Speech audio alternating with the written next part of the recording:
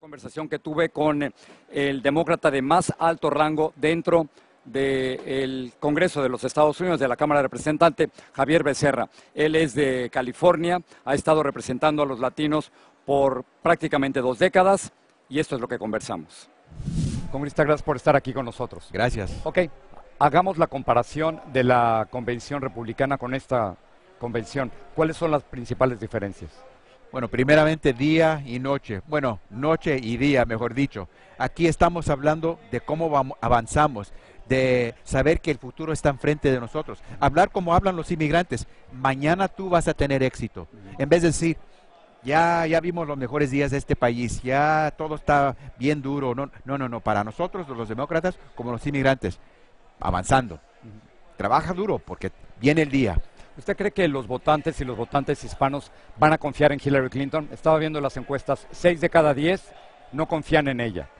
¿Qué puede hacer Hillary Clinton para que la gente confíe en ella? Y es, ojalá lo hace hoy en, hablar a, eh, hablarle a, todos. Primeramente decirle personalmente, esta es la persona que soy yo.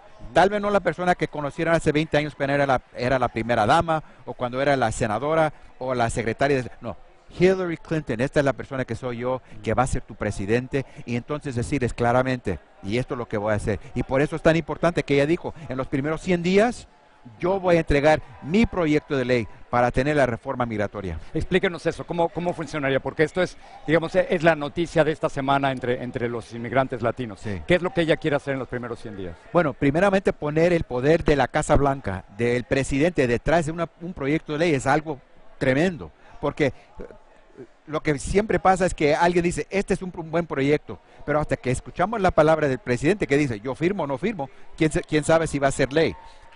Aquí tenemos Hillary Clinton diciendo, no voy a esperar hasta que ustedes, el Congreso, formula qué va a ser la medida. Yo voy a presentarles lo que yo veo como, lo necesario para reformar las leyes. No importa quién esté en el Congreso, sean republicanos o demócratas quienes estén controlando. No importa, ella nos va a presentar. Así los republicanos no pueden decir, bueno, no, sabemos lo que quiere hacer el presidente. No nos ha dado dirección. Esta es dirección. En los primeros 100 días, ustedes van a saber lo que tiene que hacer para tener el apoyo de este presidente para tener una reforma. ¿Cree usted entonces que ya ha aprendido del error de Barack Obama de no haber hecho eso? aprendió lo difícil que, los republicanos son, que, lo tanto que son obstáculos, y creo que aprendió que para tener avance uno tiene que tener el impulso propio.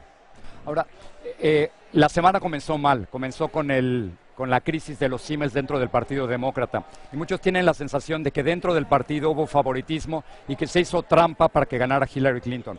¿Cómo, cómo hacen a un lado ustedes esa percepción de que hubo trampa? Pues primeramente para mí ver eh, toda, toda la acción, eh, la actividad que vimos, eso para mí no era algo malo, era algo que, hacen los demócratas, como demócratas, demócratas de partido y demócratas que creen en la democracia. Es ver ese debate. No vamos a hacer un ejército que siempre marcha adelante eh, siguiendo. Pero, no que el partido apoye a un candidato. Sí, pero así que lo que vimos es que la gente que apoyaba al senador Sanders decían, tenemos, tenemos que ver lo que va a hacer. Pero creo que después de tres, cuatro días están viendo que aquí está la líder que necesitamos. Eso nos va a ayudar tanto, Jorge, saber que tenemos un líder que una no, una no solo el partido, pero el pueblo norteamericano.